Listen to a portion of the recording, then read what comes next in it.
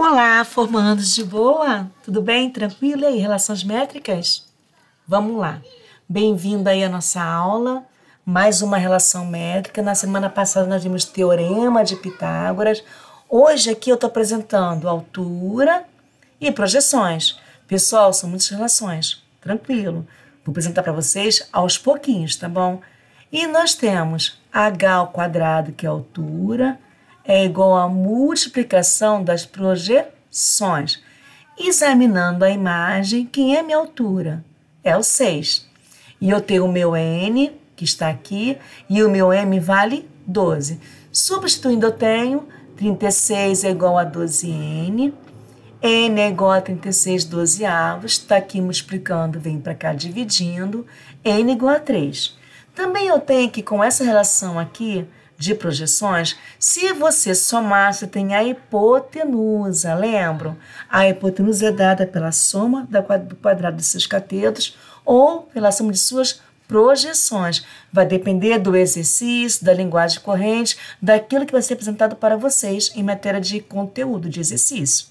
Bom, aqui a hipotenusa aqui mede 15. A igual a M mais N. Eu achei o valor do meu N porque o N está aqui e o meu M igual a 12. Achando o exercício, o que, que eu tenho? A igual a M mais N, A igual a 12 mais 3, acabei de usar o valor do N, A igual a 15. Do outro lado, eu tenho um triângulo retângulo também, eu tenho a altura que eu quero que você descubra, e projeções de medida 2 e 4. Multiplicando as projeções, eu tenho 2 vezes 4 igual a 8. A operação inversa da potência é radiciação.